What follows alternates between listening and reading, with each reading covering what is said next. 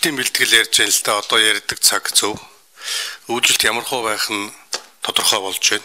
Баруун аймагуудын зарим одоо аймагуд бол одоо хүндрээд эхэлж байна гэж ярьж шít. Гэтэл одоо өдөөж чихэн сайд бол өвсдөж жилийн нөөцийн асуудал бол энэ шадар сайдын асуудал бид нар мэдэхгүйгээ сууж ерөөсөө болохгүй шít. Одоо засгийн газар дээр юу ярьж байгаа юм? Энэ жил танаас засгийн газарт яаж танилцуулж байгаа энэ үлийн одоо нөхцөл байдлыг өөрчилж ямар хэмжээний өвсдөж жилийн нөөц бэлтгэх ёстой юм гэдэг. Шадар сайдын энэ улсын нөөц чинь өвс бэлтгэх болсныг мэдж байгаа юу яамныхаа? Одоо удаж байгаа шүү дээ. Өвс огт бэлтгэх болсон шүү дээ. Ерөөсөө байхгүй тэжээл жоох юм бэлдэж байгаа. Тэгэхээр ер нь бол цааш та. Ерөөсөө энэ мал аж ахуйн салбарын үйлчлэлтийн энэ одоо нөөцийн асуудал бол шадар сайдраа улсын онцгой комиссион тэнд биш. Энэ хөдөөж хөө яам өөрөө энэ хажуудан корпорац байгуулсан. Яг энэ корпорацийнхаа бүтцэд оруулаад энэ одоо үйлчлэж жилийнх нөөцийг өөр дөрөө авч явах нь бол оновчтой юм байна. Тэгэхгүй бол нэг нэрүүгэн заагаад ингэ явах юм бол үрдүн алга. Тэртээ тэргээр танах одоо өөрөө корпорац байгуулсан. Тэднийг ч өөрөө жилд одоо ингээ зөвхөн одоо хүнсний улаанбуудаа гэдэг 45 55 мянгаыг Өрийн Улаанбаатар гэхэд 10 мянга ингээд 65 мянган тонн үр нөөцлөө явж шít. Тэрнтэй адилхан танах одоо ингээд одоо бол гадуур энэ жил ногоон тижэл тариалсан аж ахуйн нөхцөл зөндөө байна. Авах газар олдохгүй авах хүн байна уу гэл ингээд явж шít. Тэгээ ингэж яагаад нөөцлөхгүй ингээд улс ядаж одоо корпорацийн зохион байгуулалтанд аваад энэ тариаланчдынхаа өвсийг тодорхой хэмжээнд газар одоо хадгалах газараа нөөцлөөд а тэрийгэ борлуулалтанд тэгээд эргэлтэнд оруулаад буцаад мөнгө нөгөөд явах ийм бүрэн боломжууд байгаа хөөхгүй.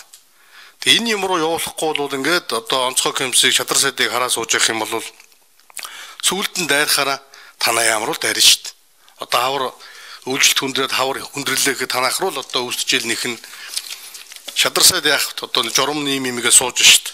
Тэгээ энэ чиглэлээр бас танаа яам өөрсдөө одоо энэ засгийн газар дээр үйлчлэлтийн нөхцөл байдлыг жаахан тодорхой ойлгуулж ин үүсдэжлийн нөөц бүрдүүлэх тал дээр журманд нь жаахан өөрчлөлт оруулж ин хүндрэх гэж байгаа бол хойдоо авар сонгуулийн жил айгүй улбан улс төржилт болж мэднэ. Жохо үүсдэжлийн нөөц бэлдэж явах зайлшгүй шаардлагатай байгаа юм. Гамболд э, гишүүний хэлдгээр ер нь э, энэ улсын нөөц болвол одоо яг э, яг ажил үргийн хуваараар бол журмандаа бол тэр шадар сайдын юунд хамаарцсан байгаа. Хуучмал өдөө аж ахуй яамны сайдын юунд байсан. Тэгэхээр энэ бол бас нэг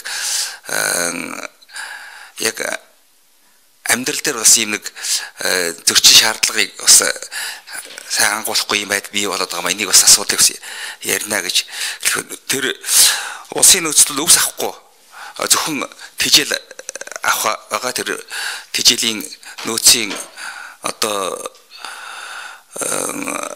төсөв бол шадар сайд дээр бол хамааргаж байгаа гэдэг бас хэлье. За тийм нөөцөд яагаад үүсэх болсон гэхээр өмнө нь энэ улсын нөөцийн салбарт чинь энэ тентхийн үндсэн холон жил болсон өвсүүдийг шахаад байсан учраас болсон шүү дээ. Одоо Баруун аймгийн Дорнодын Нодингийн хураас Өржингийн ураас цагаан өвснүүдийг шахаад байсан учраас болсон юм. Тэгээ би одоо төсвийн хилцүүлэг дээр энийг буцаж ярина. Бас манай байнга орон нэг шүү дэмжээрэй гэж хүсэж гээд ер нь өдөөж авах хэрэгтэй. Тэрнээс гадна энэ танай энэ корпорац дээр ер нь өнгөрсөн жилүүдийн нэг баахан нөөцлж байгаа энэ хүнсний улаан буудаа, үрийн буудаанууд чинь шаардлага хангахгүй жил болгон тэгэл дараа нь энэ одоо гурилын үйлдвэрүүд голдог энэ тентхийн нэг шахаасны юмнууд байдаг гэдэг хэлэм дүүрэн байгаа. Тийм учраас энэ жил энэ намрын энэ үр тариаг нөөц авалтан дээр байнгын орноос заавал нар ажлын хэсэг гарч энэ нөөцийн газрууд давж байгаа будаануудын чанар дээр хяналт тавина шүү. Тэрэн дээр байнгын орны дарга бас нэг ажлын хэсэг байгуулад одоо яг тэр ах үед нь юу болд